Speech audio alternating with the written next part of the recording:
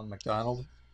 I'm here to speak uh, today about Lyme borreliosis from the uh, point of view of autopsy published studies, uh, literature cases that describe carefully documented autopsy proof of chronic Lyme disease, and uh, to discuss the widening spectrum of Lyme disease in year 2014.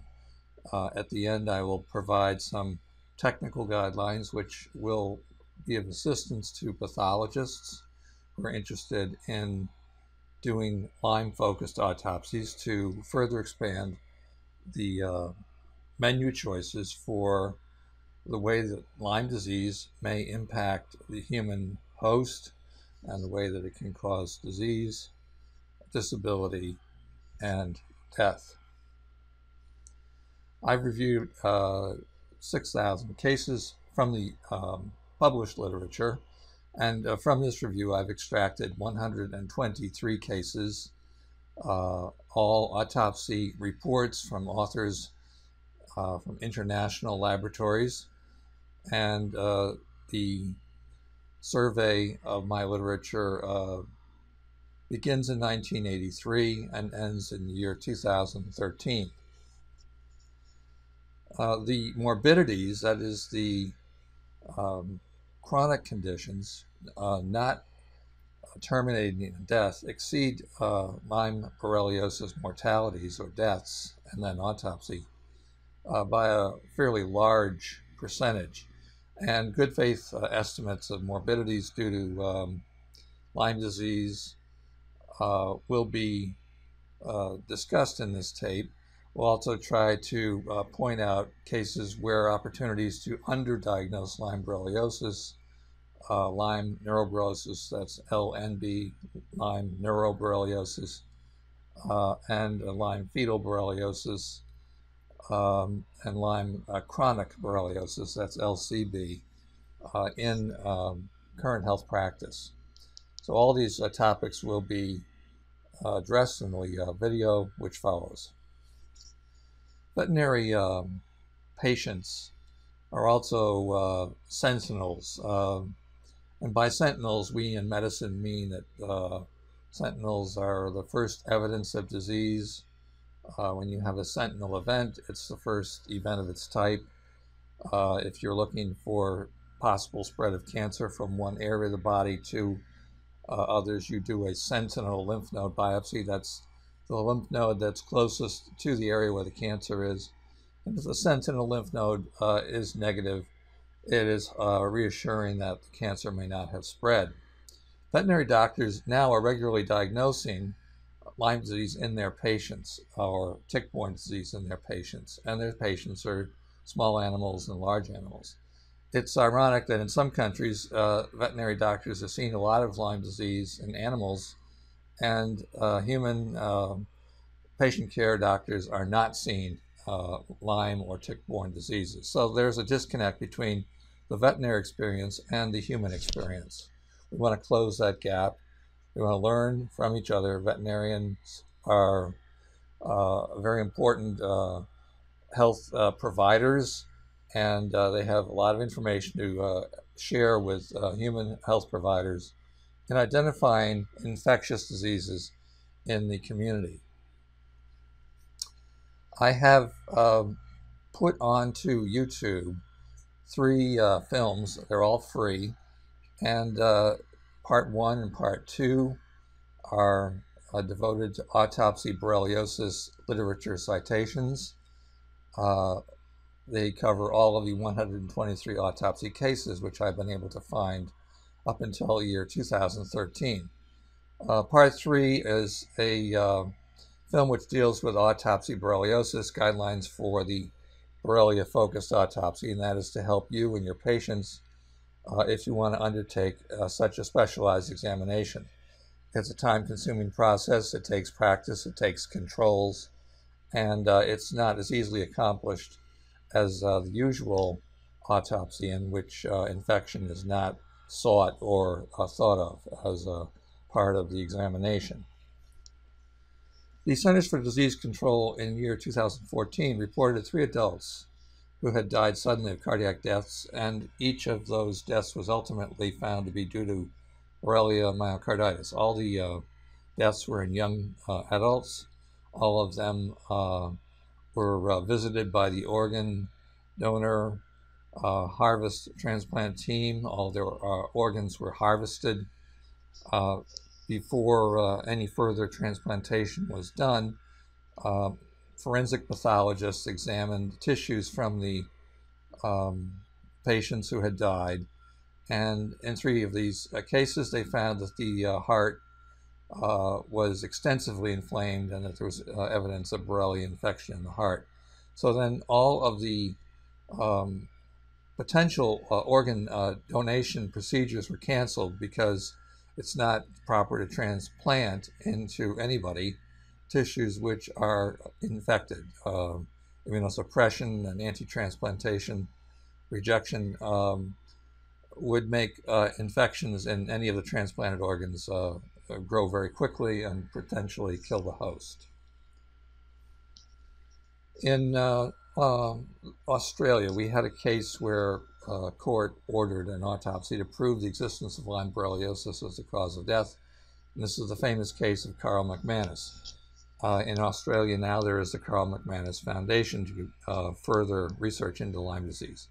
The reason the court had to order the autopsy in Australia was that it was generally believed by health authorities that there was no Lyme disease in Australia. Karl McManus became uh, ill and died uh, as a result of uh, his um, life in Australia, exposure to uh, a tick which transmitted the disease um, probably in an area uh, northeast of uh, Sydney in the Queensland area. Um, the autopsy showed that the organs were riddled with spirochetes. So it was proven by a forensic autopsy that the cause of death for Karl McManus was Lyme disease, overwhelming infection, and it established a bench, benchmark for the health authority in Australia to understand that Lyme disease is indeed a public health problem in Australia. Uh, hydrocephalus uh, is one of the findings that uh, I have found and others have found in some patients who have died from chronic Lyme disease involving the brain. Hydrocephalus is uh, water on the brain, a filling of the ventricles of the brain with extra cerebrospinal fluid, compression and reduction of the mass of the brain. In some areas, becomes paper thin, and as the brain uh, solid tissue shrinks and the fluid in the ventricles, cerebrospinal fluid increases, uh, the patient becomes more and more incapacitated. So at this time, we have uh, uh adult hydrocephalus uh, cases, a most conspicuously one from Dr. Liegner, very carefully examined by autopsy, uh, fetal hydrocephalus due to Lyme infection of the brain from my series and also from a case in Turkey, recently published, and then normal pressure hydrocephalus case from Stony Brook. So Lyme disease may cause hydrocephalus. And it does that by blocking uh, some of the channels which allow the spinal fluid to be uh, reabsorbed and into the body. And the scarring and inflammation cause that uh, process to be blocked. So the spinal fluid continues to be produced and it uh, compresses the brain and re results in disability. High grade uh, malignant lymphomas uh, induced by Lyme disease in the nervous system have been found in European autopsies. We have not found such lymphomas here yet. Uh, we really haven't looked for them. Uh, high grade malignant lymphomas arising in the brain are unusual occurrences. Lyme disease does have the ability to penetrate and to parasitize lymph- lymphocytes and lymphoid cells and other cells of the immune system. So it's not inconceivable that Lyme disease infection might induce an uncontrolled growth, of lymphoma, uh, and uh, that lymphoma would involve the uh, lymphoid uh, elements, the lymphoid cells of the body. Uh, acute respiratory distress has been uh, repeatedly documented with fatality, and Lyme disease then in the lung can cause uh, fatal outcome. Uh, it's an overwhelming uh, compromise of the lungs. Uh, both sides are involved. Uh, early reports of this came from Dr. Paul Duray. he had cases due to both borreliosis and to combined infections with borreliosis and babesiosis. Babesiosis and borreliosis usually confer a more difficult disease and may have a worse outcome, including uh, increased likelihood of uh, death. Fatal uh, disease in the brain with loss of myelin has been reported. Again, uh, with Dr. Liegner's case, uh, we have uh, several cases of um, fatal brain disease involving Borrelia infection with loss of myelin. this raises the companion situation of multiple sclerosis. Parkinson's disease uh, related to Lyme disease has been described again by Dr. Paul Duray. Uh, another infection, uh, which uh, heretofore has been thought to be uh, primary neurodegeneration. Now we have an infectious cause for Parkinson's disease.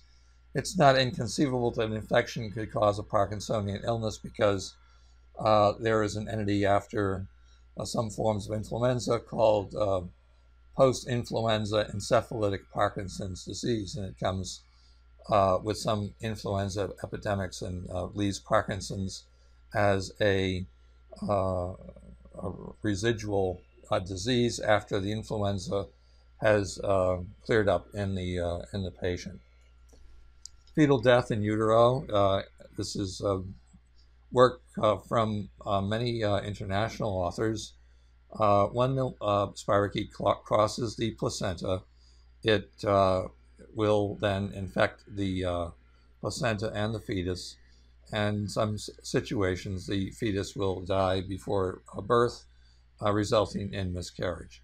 My initial studies in Lyme disease uh, were studies of uh, Lyme uh, related uh, fetal infection with death and miscarriage, and I reported these in 1985. Since that time, investigators from around the world, most recently Dr. Lakos in Slovenia, have uh, continued to emphasize the importance of uh, transplacental uh, transmission of Lyme disease infection from mother to baby, resulting in fetal death or adverse fetal outcome.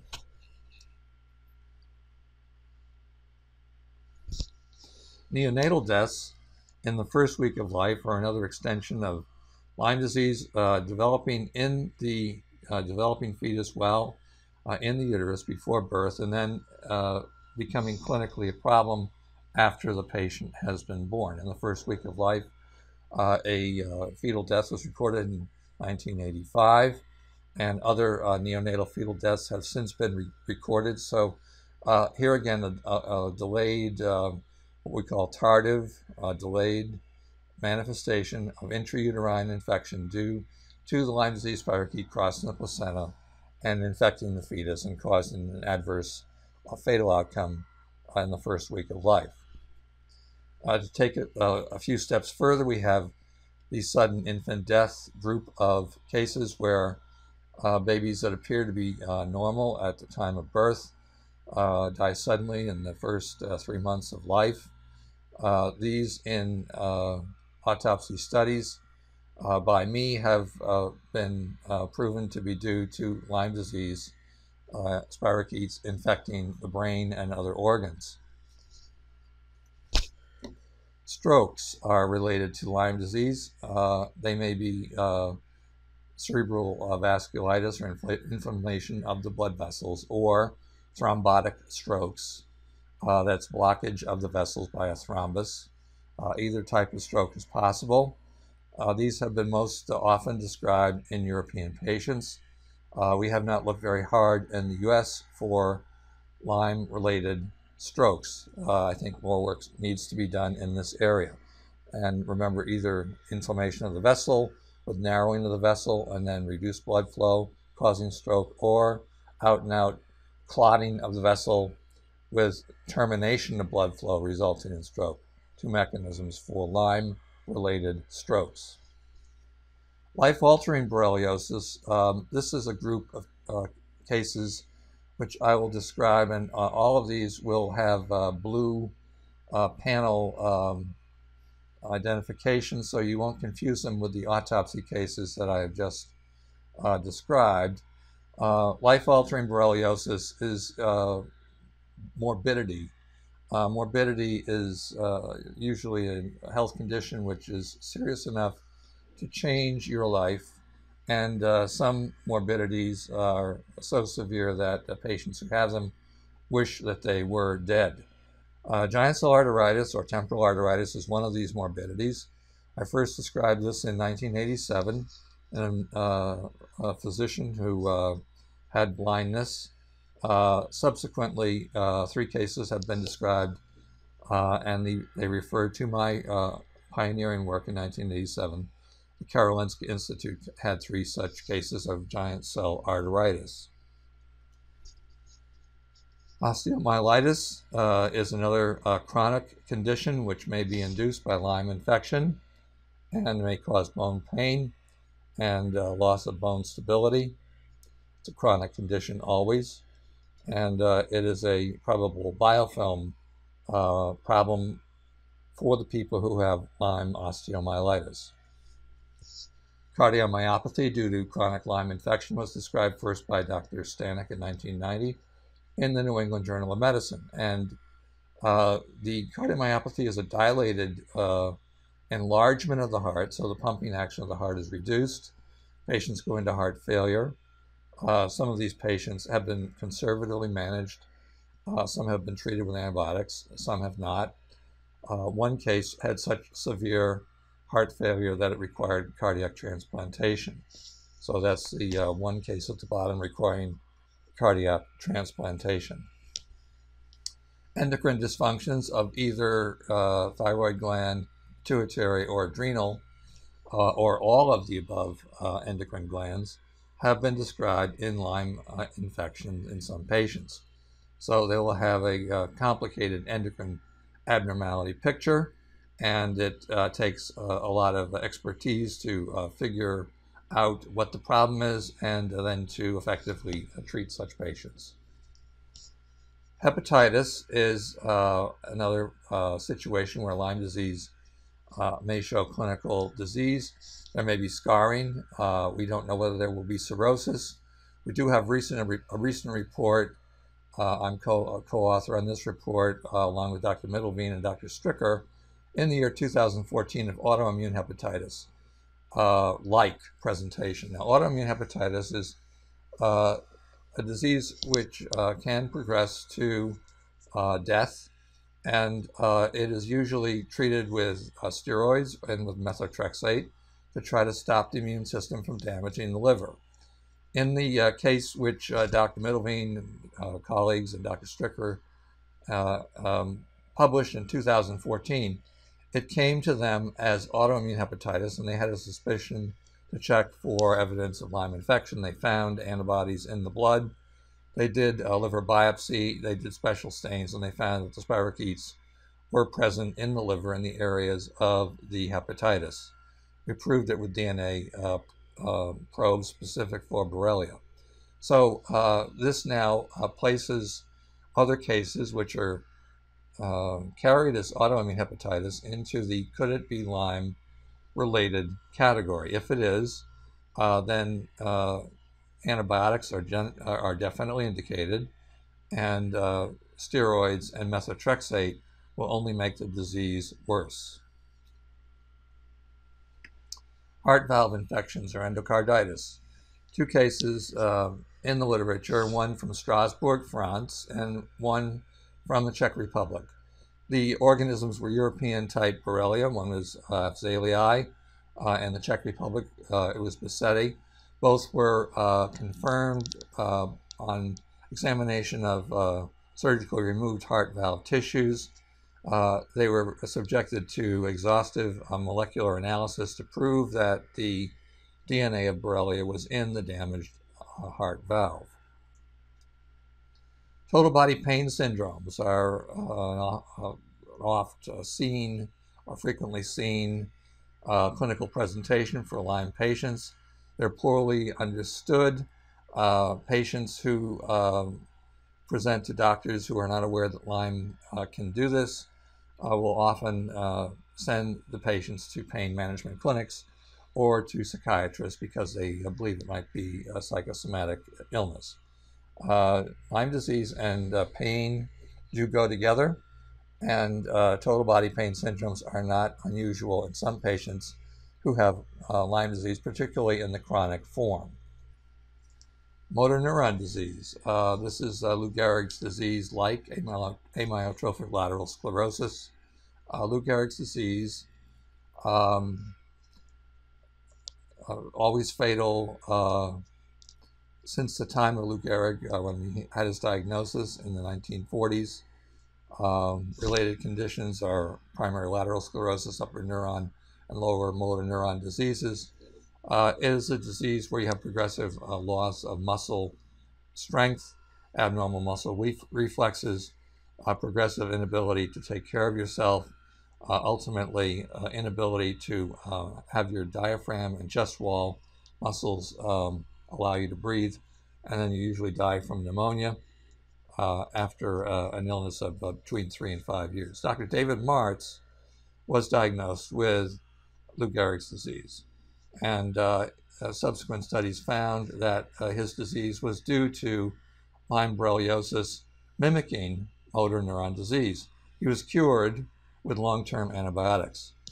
And uh, he now runs an ALS clinic in Colorado Springs. He's seen 900 patients, and uh, he's cured about 20 of them so far with the antibiotic program.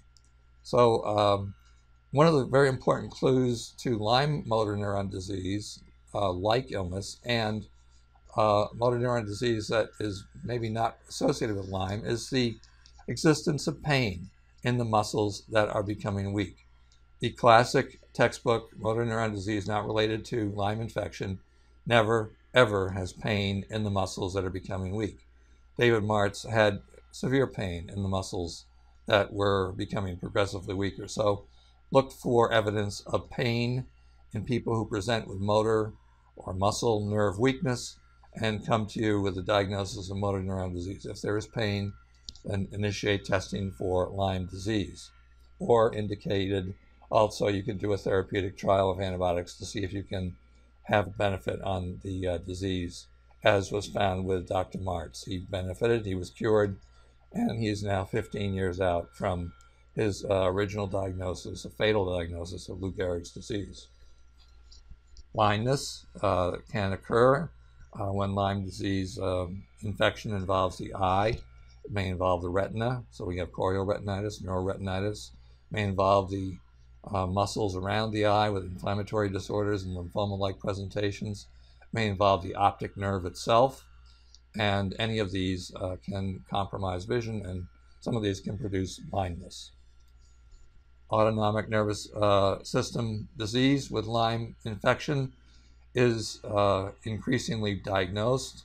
It's hard to uh, pin down because most doctors do not think of diseases of the autonomic nervous system as being related to infection.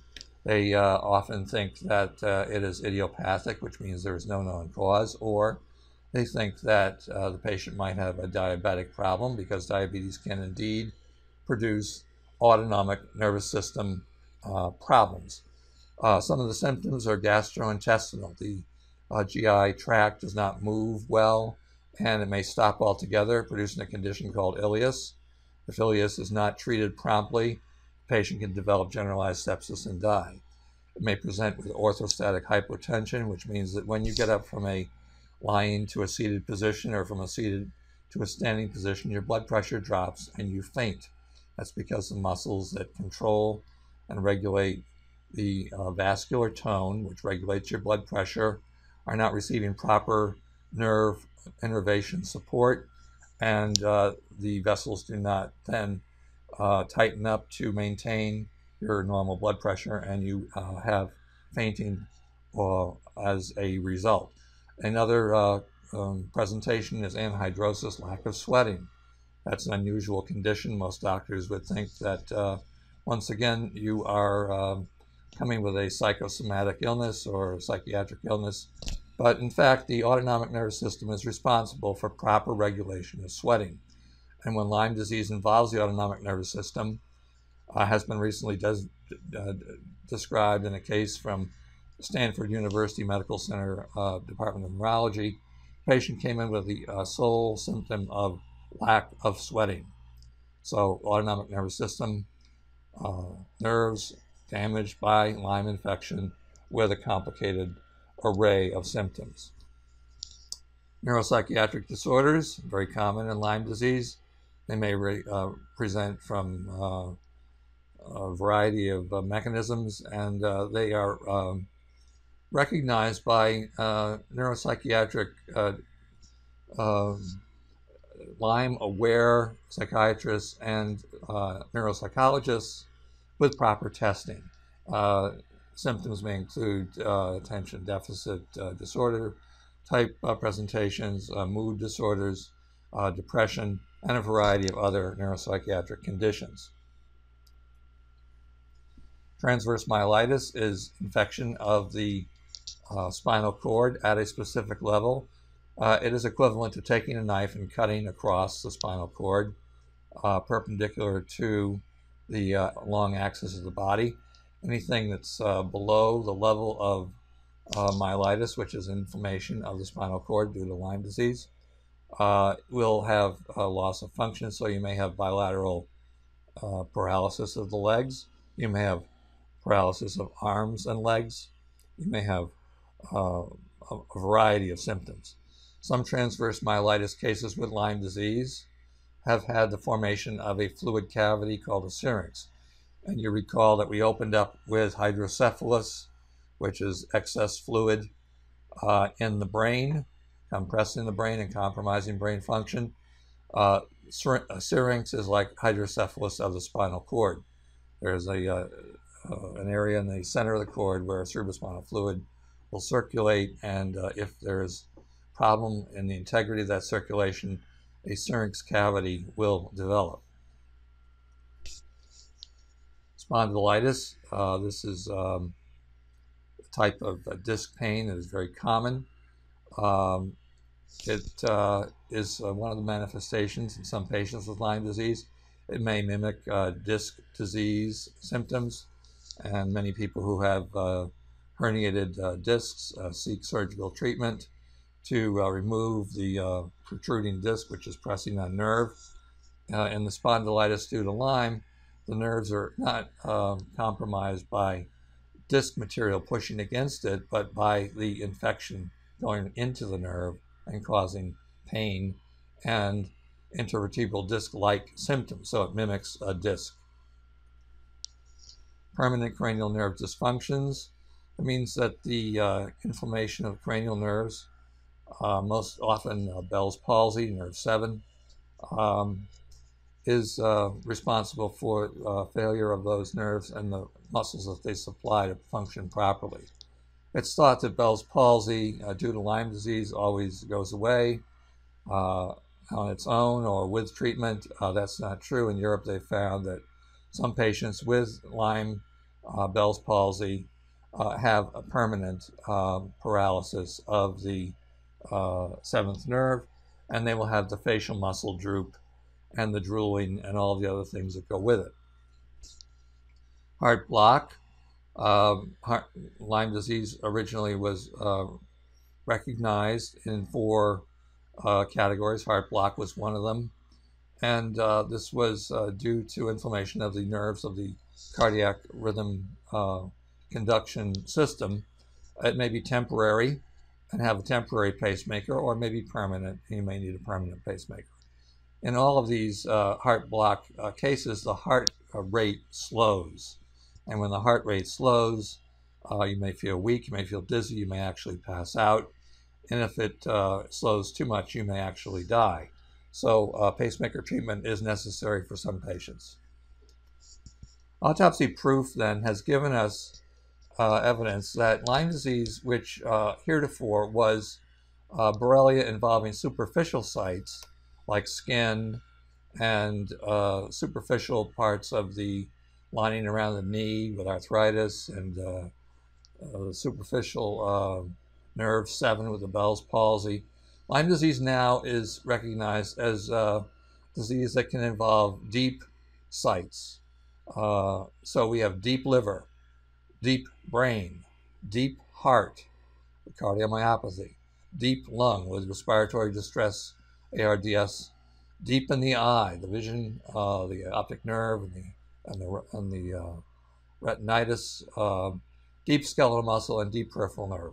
So autopsies then prove now that Lyme disease has a more serious and more chronic uh, clinical presentation involving deep visceral sites. That's deep body sites. And uh, it is no longer confined to the meningitis or the lining around the brain, but it goes right into the brain, into the deepest areas of the brain, and is responsible for brain disease. Dementias are an example of such deep brain involvement, and we have Alzheimer like presentations with uh, deep Lyme disease. We have Lewy body like presentations and Parkinson's disease like Lyme disease infections of the brain. These are all deep sites. Now, tertiary, secondary, and primary borreliosis cases are one way of classifying uh, the type of Lyme disease that the patient presents. Tertiary is important because it is a disease which appears uh, very long after the patient has the tick bite. So it may be uh, uh decades, uh, 10 years, 20 years, 30 years after the tick bite, the patient may develop neurologic difficulties.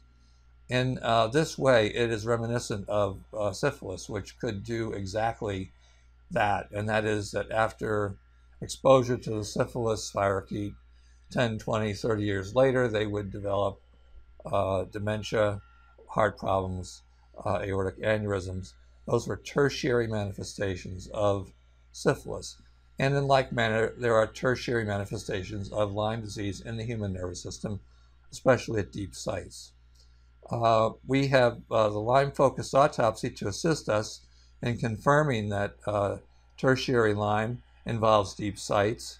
We uh, started with fetal deaths, and we found that the organism, uh, Borrelia burgdorferi, was present in deep visceral tissues like the liver and brain, and we cultured it from the deep viscera of the fetus in the autopsy studies.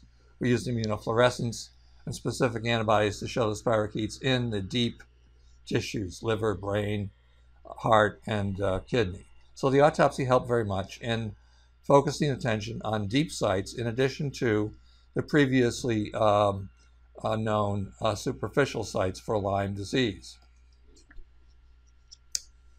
In 1986, I uh, was at the Vienna conference and uh, I was presenting my fetal uh, death cases Dr. Andrew Pachner mentioned the word tertiary, and then he mentioned the word uh, neuroborreliosis or brain uh, Lyme infection.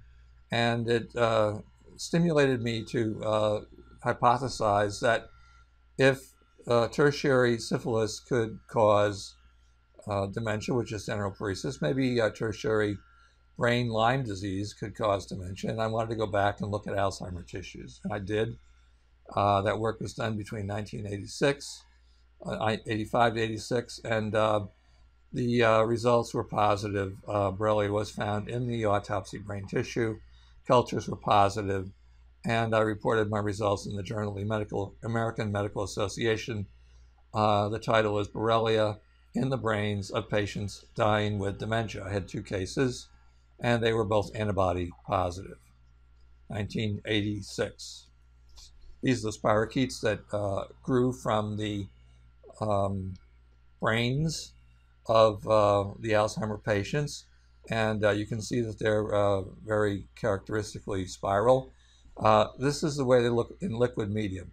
In tissue, there are uh, forces because tissue has elastic fibers and other connective tissue fibers which can stretch and distort the regular spiral to make it look more worm-like uh, and only parts of the spiral remain.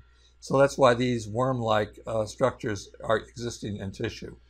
In addition, I discovered uh, in one of my Alzheimer brains for the first time, very first time, that a cystic form of Borrelia was present in the Alzheimer brain tissue, and I'll show you that in a minute. But this is a cystic form of Borrelia with monoclonal antibody H9724 from Dr. Barbour. Notice that it is uh, somewhat round, but it is wrinkled. And it's wrinkled because it has lost fluid. Uh, before it had lost the fluid, it was probably uh, smooth like a basketball. Uh, but as it lost fluid, uh, it uh, became wrinkled and it has that wrinkled appearance. So evidence point number two for Alzheimer's um, like Lyme is that monoclonal antibodies prove that the cultured spirochetes were Borrelia, and the spirochetes in the brain were Borrelia. These monoclonal antibodies from Dr. Alan Barbour, uh, generously provided for my research and for the research of others. I uh, subsequently reported another uh, case, uh, and this was the case where I found the spirochetal cyst form. This was in 1988 in the New York Academy of Sciences. This is what the cyst looked like in the Alzheimer brain. And you notice there's a little wrinkle here, just like the wrinkle that I showed you before. I did a fingerprint preparation, and I used the monoclonal antibody to stain the fingerprint preparation. And the form that uh, took the antibody and glowed brightly was this form, which is the cystic form of Borrelia, com uh, coming out of this tissue and uh, lying flat on the side like a fingerprint would. So this proves that uh, this structure is a Borrelia cyst and uh, other uh, Borrelia cysts were cultivated from uh, fresh autopsy brain tissue. Dr. Judith Miklossy in the years 1993 to 2014 present has uh, done her own studies uh, and we have really not talked about uh, how those studies were designed. She designed them on her own. She came up with this concept of uh, possibility of chronic Borrelia in brain might uh, have a role in producing some Alzheimer's disease. Uh, she de developed evidence for this and published her first paper in 1993. Uh, she has since continued to publish many papers right up to year 2014 and her work is recognized internationally. Uh, she also has a category of uh, Alzheimer's that may, is, may be related to oral treponemes, not syphilis treponemes, but oral treponemes, like oral cavity uh, spirochetes, which get into the brain and produce Alzheimer's disease.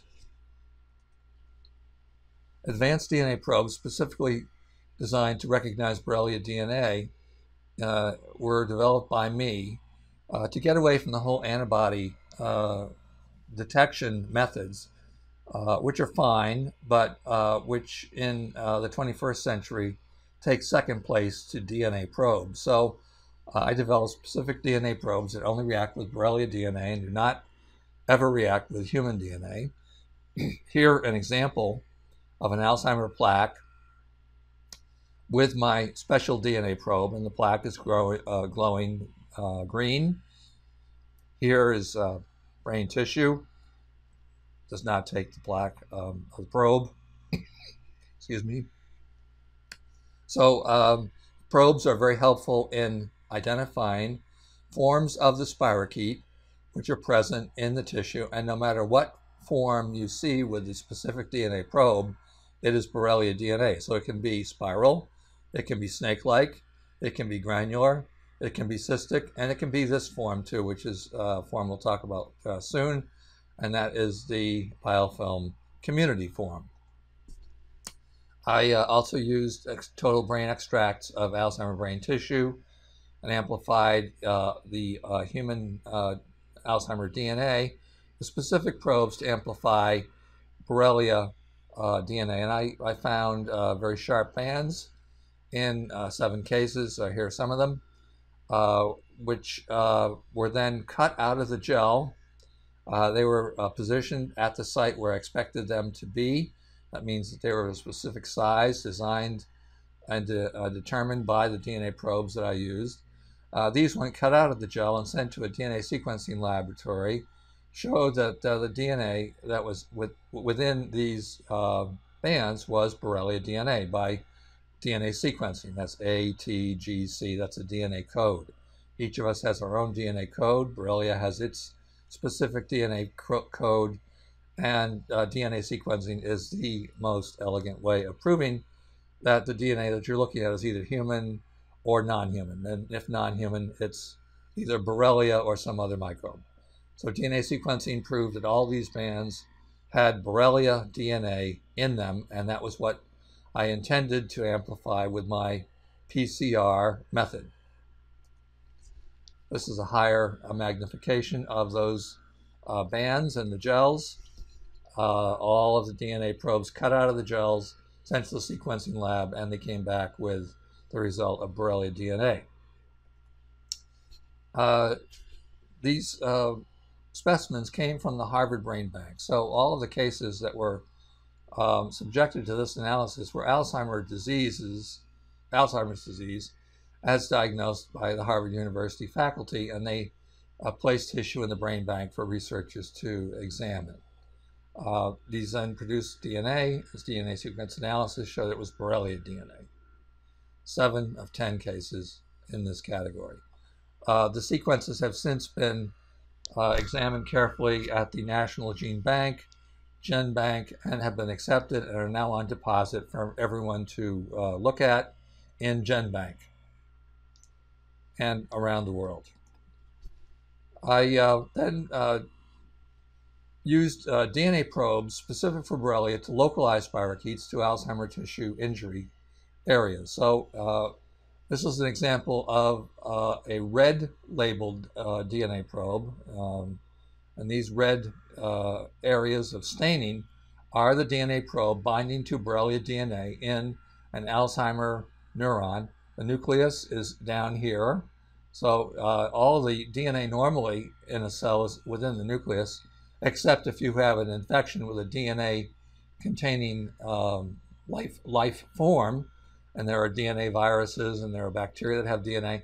Here we have Borrelia DNA in the cytoplasm producing round structures, small, uh, medium, and large, sharply uh, demarcated from the adjacent human uh, cytoplasm, which is yellow so uh, this is a sharp definition of Borrelia infection in the uh, granular uh, vacuolar bodies.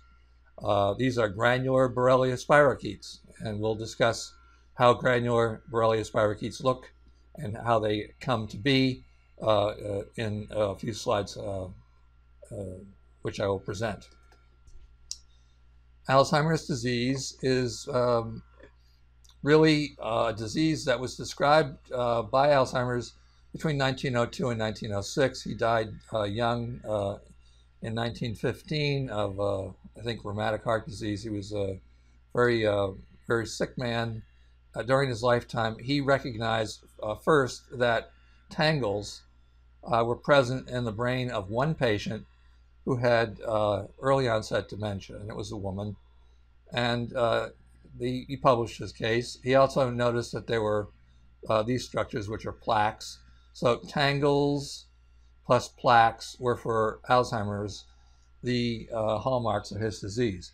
Now, he only published two cases in his lifetime, uh, and two cases do not impress anybody uh, in terms of uh, today's uh, rules and regulations for what counts in science and what is dismissed as just anecdote. however, the uh, disease is now uh, the fastest growing uh, disease, one of the fastest growing diseases on the planet. And for many years, between his uh, death, 1915, and uh, the early 1980s, nobody diagnosed Alzheimer's disease. Um, uh, it was just thought to be if you have dementia, it's because of your old age, and therefore it's called senile dementia. this panel shows the granular bodies the uh, round uh, red bodies here with this stain, not, not a DNA stain in this case, just a red stain, uh, another red stain. And uh, these are disease neurons. The nucleus is here, so all the DNA should be here.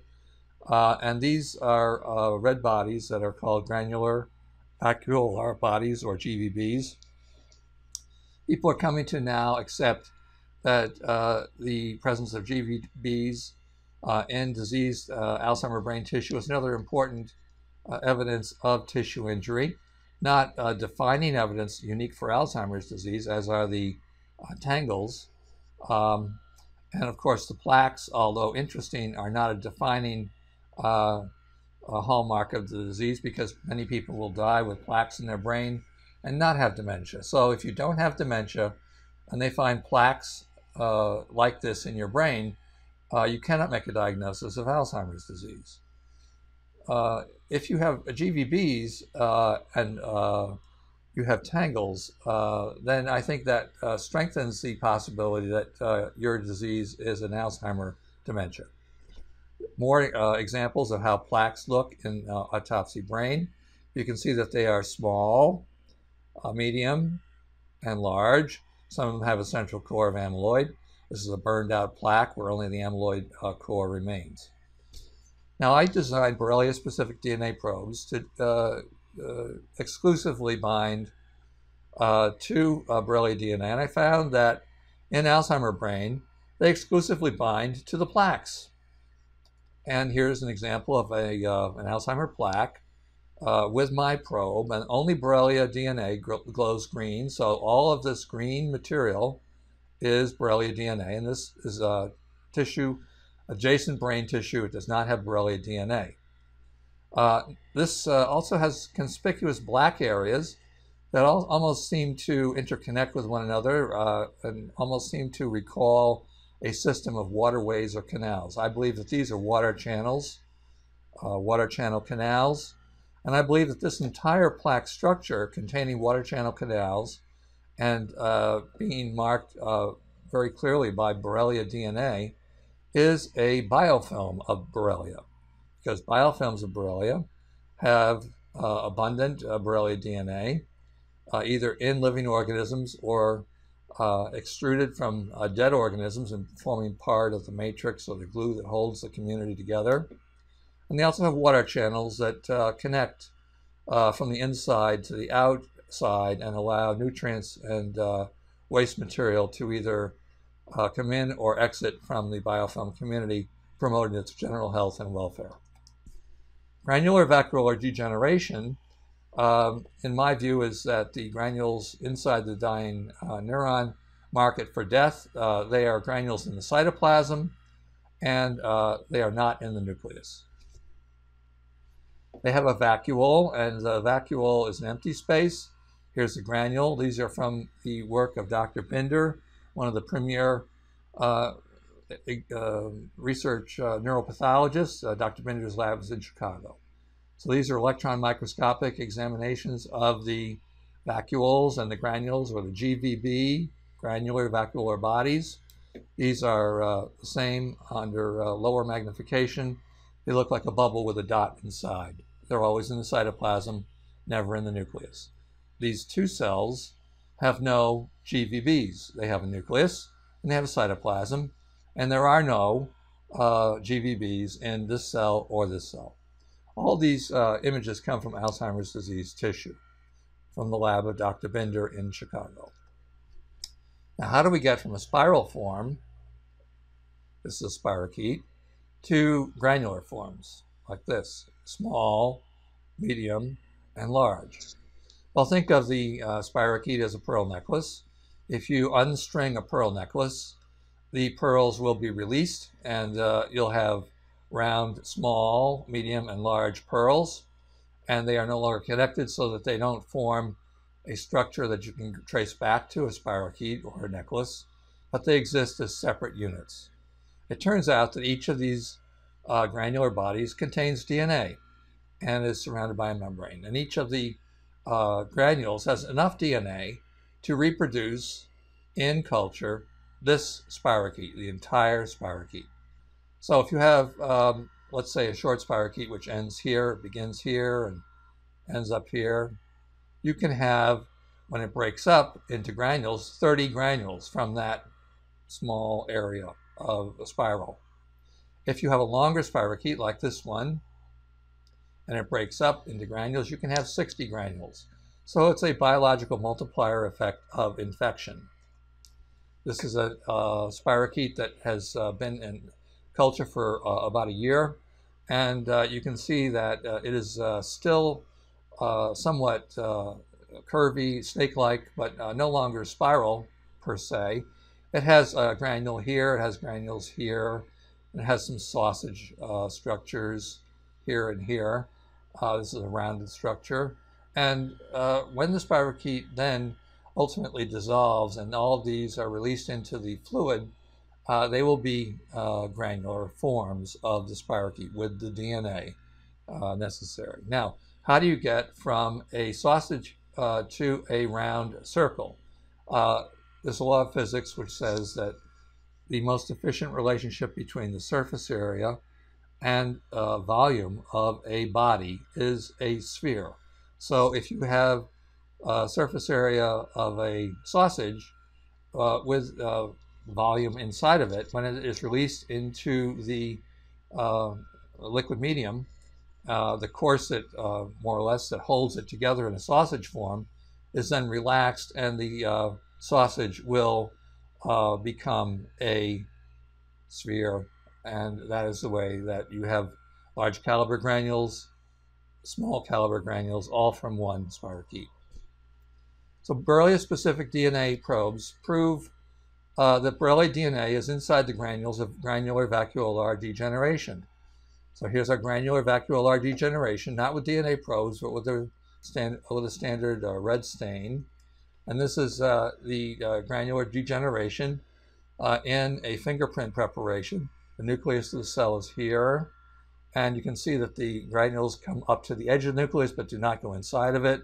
They come in small, medium, and large sizes. And these are DNA probes with a red marker stain. Uh, the yellow is the cytoplasm. So the DNA uh, of the infecting organism, which is Borrelia, the granular form, exists in the cytoplasm of the neuron. And the neuron here is marked for death. The nucleus does not have any Borrelia staining. So here again, spiral to granular transformation. Granules in another neuron with a green stain. The nucleus is over here.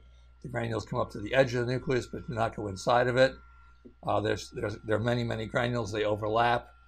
Uh, this is a DNA um, probe demonstrating that Borrelia DNA is present in the granules of granular vacuolar degeneration. Uh, another neuron with similar studies, only fewer of these granules in the cytoplasm. Uh, the nucleus is here, no, no granules inside the nucleus. DNA probes specific for Borrelia. Now, the tangles uh, have been uh, a standard part of the definition of Alzheimer's disease since the time of Alzheimer's and remain so today, highly specific for the diagnosis of Alzheimer's disease as opposed to other forms of dementia. Dr. Kidd of the United, of the United Kingdom refined our understanding of the structure of the uh, tangles of Alzheimer's and uh, has uh, produced uh, this sort of structure for the tangles. I still uh, am puzzled by the uh, the way that these actually form from liquid to a solid fiber, but it is a fiber nonetheless. It's a pathology it's a fiberopathy or fiber pathology, and it is emblematic of Alzheimer's disease. These uh, take the tau, phosphorylated tau uh, protein uh, stain. Judith Miklossy, again, uh, premier Alzheimer and Borrelia and spirochetal uh, dementia researcher, has used 16S Borrelia DNA as specific for DNA analysis to localize Borrelia to sites of Alzheimer injury and Alzheimer tissue. Uh, Dr. Miklossy again has used immune stains to localize bacterial cell wall, antibodies to bacterial cell wall, uh, to Alzheimer plaques. Now, bacterial cell wall does not involve the structure of any of the normal human tissues. So if you have bacterial cell wall in an Alzheimer plaque, that's very, very exquisite as evidence that bacteria were present at the uh, formation of the Alzheimer plaque. So it's a very good uh, uh, among her excellent studies, and she has so many excellent studies, which we will uh, describe. Dr. Miklossy has also used in vitro, that's in glass, in test tube, cultures of pure Borrelia uh, and uh, mix them with uh, tissue cultures of normal human neurons. So the neurons in tissue culture are swimming in liquid medium and they're healthy and alive. And you add laboratory culture of living Borrelia growing rapidly. And what happens? The uh, co-cultured spirochetes and neurons show that the Borrelia spirochetes penetrate the tissue culture cells they go inside the cytoplasm of the neuron in the laboratory in the test tube. Here's such a, a neuron, and you can see that the spirochete has penetrated into the cytoplasm of the tissue cultured neuron.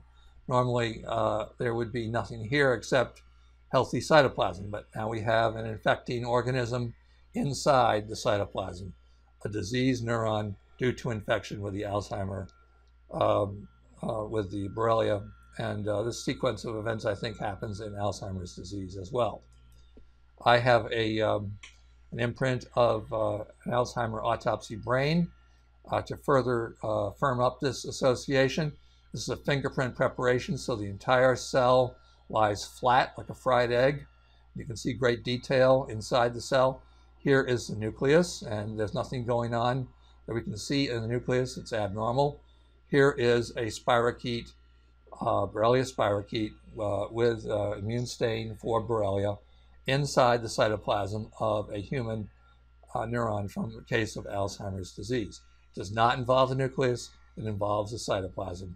It's a spirochete, just like Dr. Miklossy has shown, that has penetrated from the outside and set up residence inside the cytoplasm. Dr. Miklossy has also used atomic force microscopy. This is a 21st century tool for the evaluation of um, unfixed tissue, and she's proven that cystic Borrelia exists in Alzheimer brain tissue. Now remember, I'm the one that put cystic Borrelia in the map uh, back in 1988. Uh, Dr. Miklossy now, with 21st century tools, has shown with atomic force microscopy that cystic Borrelia forms do exist in Alzheimer brain tissue. Uh, the abbreviation for atomic force microscopy is AFM. So she has AFM evidence of cystic Borrelia in Alzheimer tissue. Uh, Dr. Sapi and I have worked on biofilms of Borrelia. Biofilms are communities of Borrelia. Uh, they exist in mammalian tissues that have chronic Borrelia infections. Uh, biofilms are a protective mechanism so that if um, microbes encounter a hostile environment, such as the human immune system or antibiotics in the blood or uh, extremes of pH or other adverse uh, chemical environments, which would ordinarily kill the microbes, they form biofilms. And biofilms are communities to protect the microbes from dying off. They're a protective mechanism. And the Borrelia then that form biofilms, just like 99% of all microbes on the planet, which also form biofilms when subjected to extreme conditions, biofilms of Borrelia uh, are present in mammalian tissues in chronic Borrelia infections. This is what a biofilm looks like reared in the test tube. Spirochetes, uh, some at the edge, still visible, but most of the uh, forms are the granular forms, and then the gray uh, membranous material in between the dot-like granular forms is the matrix. The matrix is a gel-like, glue-like substance, which is uh, the remnants of once living, now dead members of the community. They contribute their proteins, their DNA, and all of their guts to form this protective um, uh, slime like material which surrounds the entire community and prevents it from death. This is a biofilm of Borrelia in the skin. It's from the acrodermatitis chronica atrophicans lesion that you will recall is the tertiary form of Borrelia in the human skin, well accepted in Europe. We don't think we have acrodermatitis in the United States. is probably due to the type of strain of Borrelia that they have, which is different from the US strain. In any event, uh, we have uh, dot-like uh, uh areas within the biofilm, uh, which are the granular forms. We don't have any spiral forms at all here.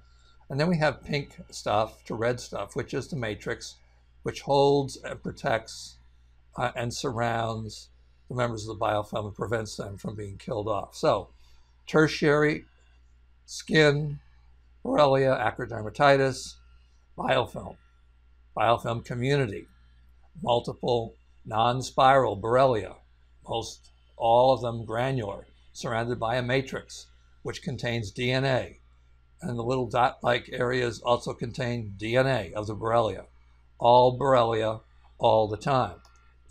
In the tick gut, we can see examples of cystic forms and other modified forms uh, which can perform uh, can uh, form uh, biofilm communities in the gut of the tick, uh, the ixodes tick, which transmits the disease. These uh, gray structures are the cystic forms. To highlight them, they've colored some of them blue so that you can see that the cysts vary in size from small to medium to large. These are much, much bigger than the granular forms that I described before. This is actually uh, a black uh, cross-section cylinder of uh, one of the uh, Borrelia uh, spirochetes, which is outside of the tick gut. So these are cystic forms inside the gut and more cystic forms, many, many of them inside the gut. The gut is a hostile environment. The gut has enzymes. The enzymes are there to digest protein, to make food for the, for the organism, the, the tick in this case, to sustain it, to nourish it. And uh, the biofilms are there to protect the uh, spirochetes from becoming food for the nutrition of the tick. Now, my hypothesis uh, is that the biofilms that we've shown for Borrelia uh, are the structural explanation for plaques of Alzheimer's disease. That is to say, Alzheimer plaques are biofilm communities of Borrelia. Uh, this statement, then, I'm going to uh, offer some structural evidence for to back up and support. And uh, you will see some images which uh, tell you why I believe that statement to be true the plaques, Alzheimer's, biofilm communities of Borrelia. This is from the uh, Wellcome image collection and has been used in a publication from the Scripps La Jolla Institute in connection with their work on Alzheimer's disease. You can see that the plaque, all by itself, is surrounded by brain tissue. So the plaque is in light um, aqua. Uh, there is a rounded structure here that's a cystic structure, to my, to my view. There are linear structures. Uh, there are uh, straight lines. Uh, those uh, could be spirochetal profiles or other profiles, amyloid fibers. I'm not sure, but we expect to find amyloid within Alzheimer plaques. But uh, there are some uh, areas here that are uh, round, black areas that remind me of the canals of the biofilm and for that reason, I think that this entire plaque, traversed by uh, canals which enable fluid to get in and out, is a Borrelia biofilm. And to uh, further add some uh, structure to that, I've enlarged the uh, image here so that uh, the, only the bottom part is enlarged. And you can see that these are indeed black empty spaces within the uh, Alzheimer plaque. They come in small, medium, and large. And uh, further enlargement, you can see that they are somewhat heterogeneous, but uh, clearly very close in uh, the architecture to the water canal spaces of Borrelia biofilms uh, which exist in test tube preparations. Here's a biofilm with a water space. Here's another biofilm with a smaller water space, an early biofilm with large water spaces. This is a mixed biofilm. Each of the black areas is a water space or water channel. It's a solid area of a community of organisms which needs to protect itself from hostile assaults it has nutrients coming in and waste material going out through these black spaces. This is the Alzheimer plaque once again with the DNA stain. Only DNA from Borrelia stains The brain doesn't stain here, it's black. The plaque stains bright. Uh, there are varying degrees of green.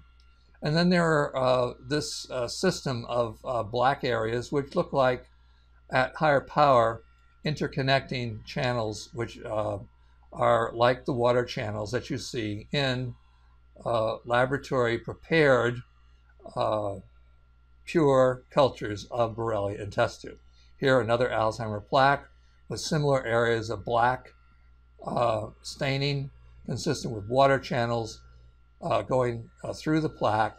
All the roundness of the plaque is there. It's a classical Alzheimer plaque. And the green is DNA from the Borrelia, only DNA of Borrelia stains green here. This is brain tissue which does not have Borrelia DNA. It does not stain green. So these two plaques both have water canals. Uh, this plaque has what I think are water canals. This is an Alzheimer plaque with a conventional stain. This is an Alzheimer plaque with a Borrelia DNA stain. This is a water channel. This is a water channel. These are water channels. Water channels plus DNA, sharply circumscribed. All of these come together under a nice definition of a biofilm community. Community of organisms surrounded by DNA and other proteins that were once living, now dead, that form a matrix to hold a community together and prevent it from assault from antibodies and antibiotics. A biofilm community with water channels, water channels, water channels, water channels, water channels. All of these are communities.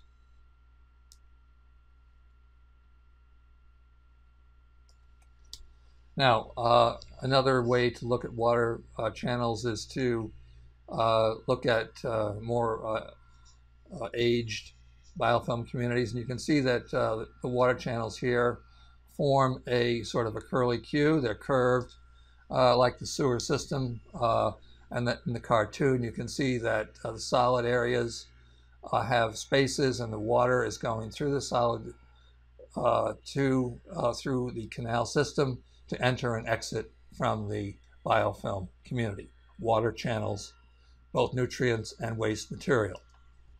So here we are, water channels, empty spaces in an Alzheimer plaque biofilm-like.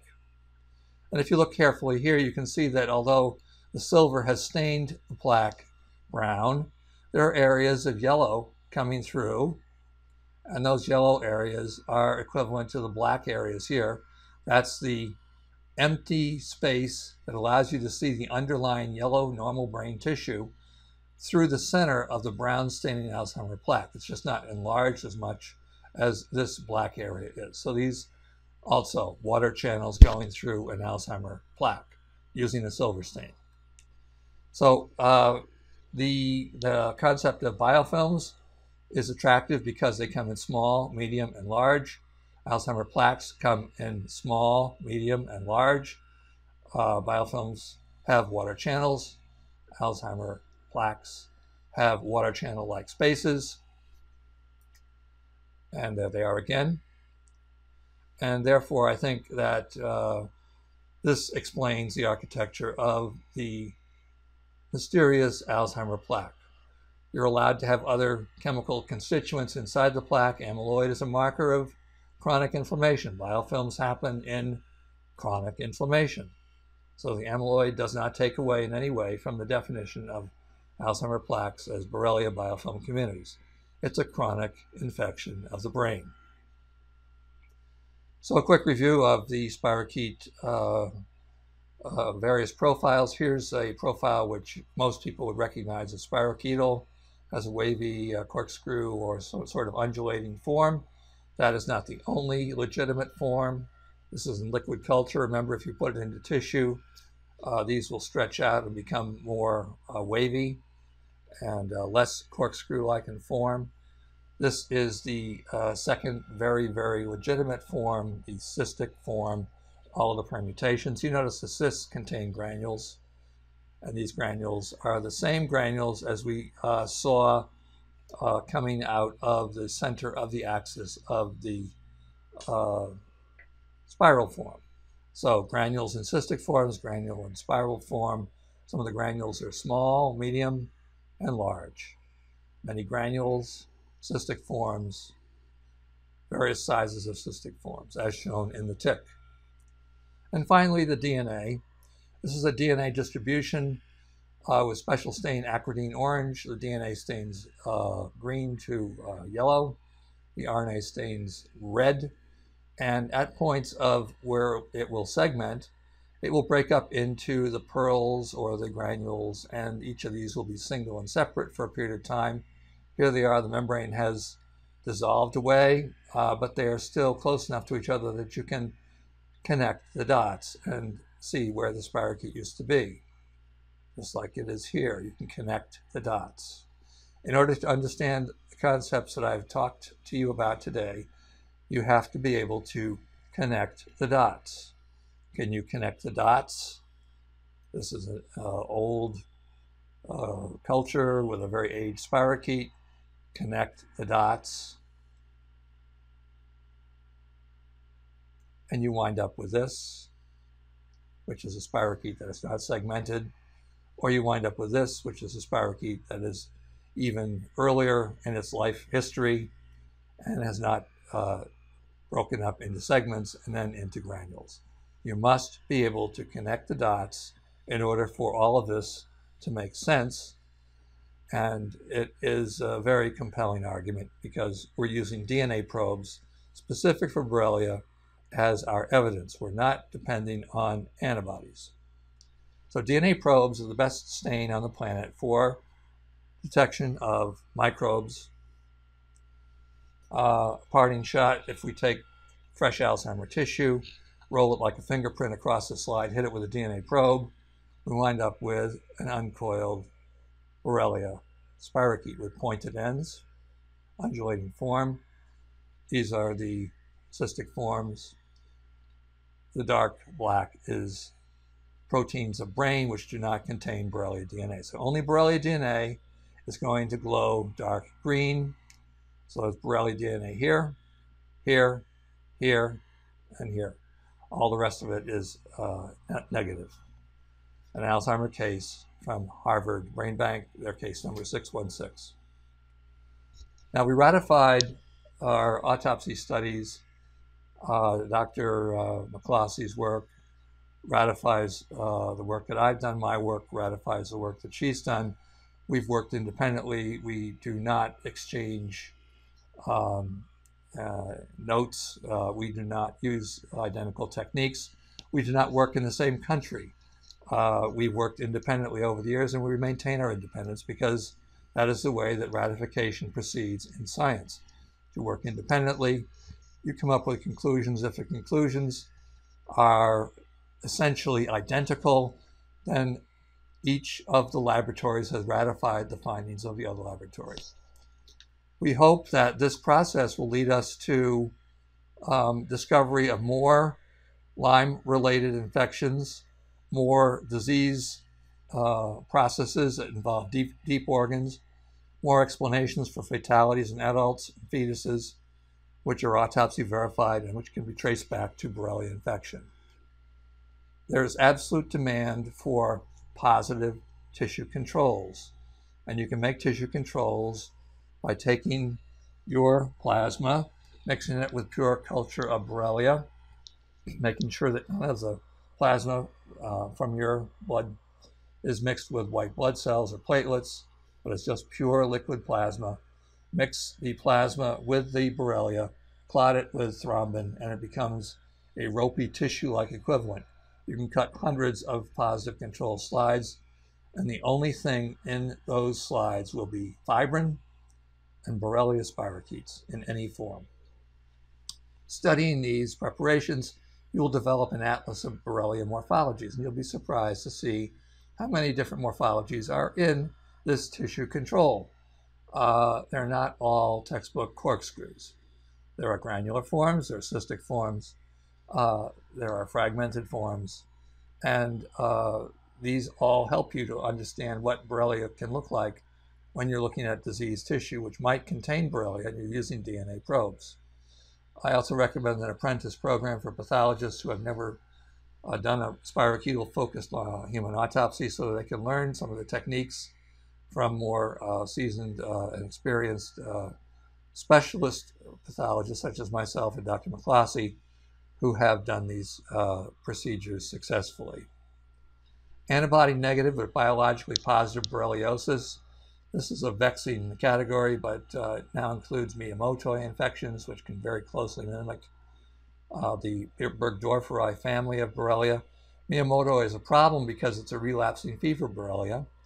It's probably been among us for many, many years. We just didn't recognize it. There's no blood test for it. It can produce a condition which has spirochetes, but will not react in Lyme blood tests because Miyamoto does not react in Lyme blood tests. European type infections also may be missed in U.S. manufactured test kits, which are designed to pick up USA type Borrelia.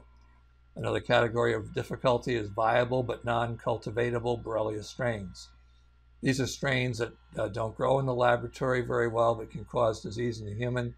Because we can't grow them in the laboratory, we can't manufacture test materials or slides or Western blots from these viable but non cultivatable Borrelias. They still cause disease. So you can see them under the microscope, but you may not be able to get a positive blood test result. And some of the newly described strains of formerly non cultivatable but now cultivatable are Americanum, Andersonii, Kurtenbachii, Bissettii, Australian strains of Borrelia, Chinese strains, Turkish strains, and South American strains. All newcomers to the Borrelia pathology universe. So, our wish list for the 21st century we hope that uh, people will pick up the baton, continue to study Borrelia, continue to study diseases with pathology tools, molecular tools, 21st century tools. We know that there will be new disease associations uh, described by such uh, 21st century scientists. We know that new co-infections will be described and, and better uh, characterized. And we hope that treatments will be designed to interrupt or to eliminate Borrelia infection from people who suffer from it, no matter whether it's an early infection or a very chronic chronic late, late infection, such as uh, was uh, case with Dr. David Martz when he was cured of his um, Lou Gehrig-like disease due to Borrelia infection. He was cured by antibiotics, long-term treatment over a number of years. He is now running a clinic to help other people who have an ALS-like illness. So, beginning of lifelong learning, and I bid you adieu uh, with the French Borrelia sans frontières, which means Borrelia without limits or geographic boundaries. Thank you very much for your kind attention.